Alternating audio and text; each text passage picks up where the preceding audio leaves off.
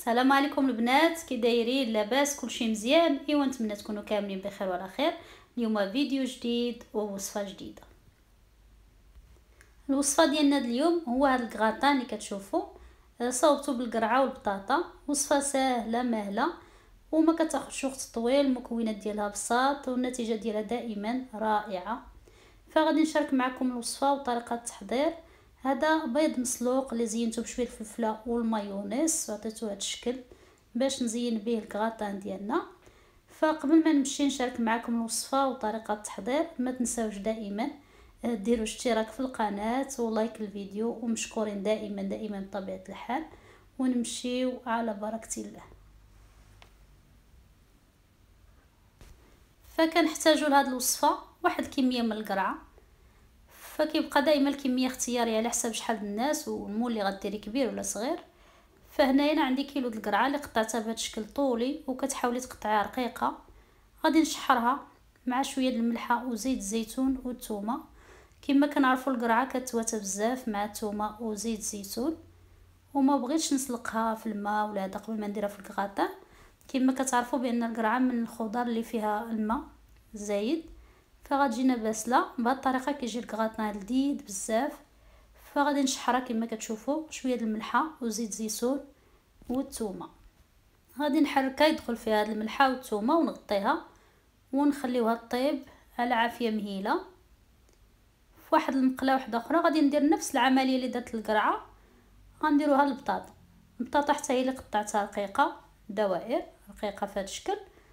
ونفس اللي قلنا غادي ندير فيها مليحة وزيت زيتون وشويه ديال الثومه يعني درس واحد ديال الثومه غادي نحكو فوق من هاد البطاطا ونغطيها حتى هي ونخليها طيب.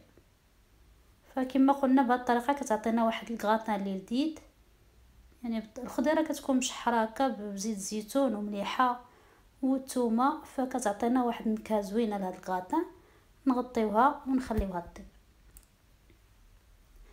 واحد المقله ثالثة غادي ندير واحد البصلة مشحرة.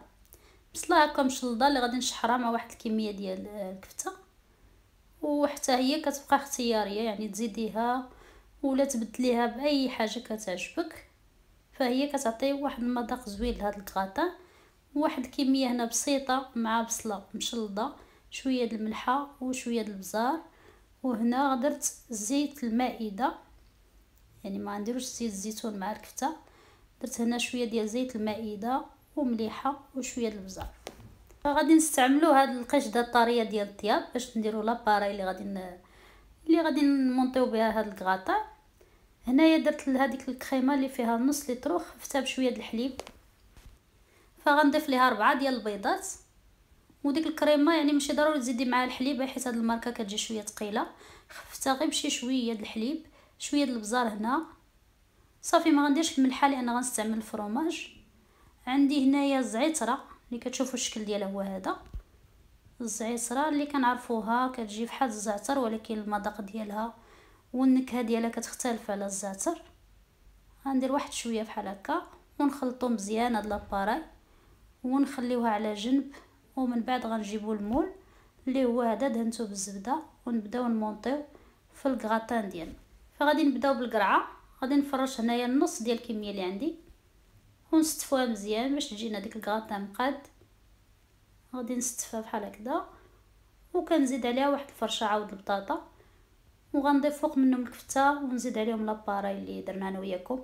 اللي فيها القشده الطرية والبيض وشوية د البزار وشوية د الزعتره بهذه الطريقة كنستف ونقاد. ونضيفوا عليها ديك الكفتة اللي شحرنا مع البصلة. كنستف البطاطا بحال هكا وغادي نزيد عليها ديك الكفتة اللي شحرناها مع البصلة.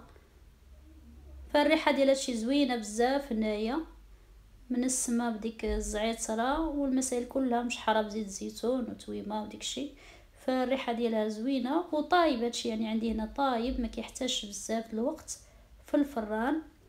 غيدي ما بين عشرين دقيقة حتى 30 دقيقة باش كتشرب وتعقد. أما كلشي فيها طايب. غنزيدو هنا نصف الكمية ديال لا كريم فريش اللي خلطناها مع البيض والبزار والزعترة. وغادي نعاود العملية كاملة يعني غادي نزيد واحد ستيفه القرعة اللي باقا والبطاطا من نفس الطريقة اللي درنا في الأول وغادي نضيف ليها شوية ديال الفرماج موزاريلا اللي عندي هنايا ولا أي نوع الفرماج أنا حيت هذا اللي عندي بقى هنا في الدار. يعني أي نوع الفرماج ممكننا نزيدوه في هذه الوصفة. البطاطا وغادي نديها للفران كما قلنا ما بين ثلث ساعة ونص ساعة. كتكون واجدة حتى تعقد وتحمر على وجهها. عاد كنخرجوها من الفران. فما تنساوش ديروا اشتراك في القناة ولايك الفيديو ونتلاقاو إن شاء الله فيديو جديد ووصفه جديدة. غادي نشارك معكم الشكل ديالها النهائي ملي غتخرج من الفران. ونتلاقاو إن شاء الله كما قلنا فرصة واحدة أخرى. مع السلامة.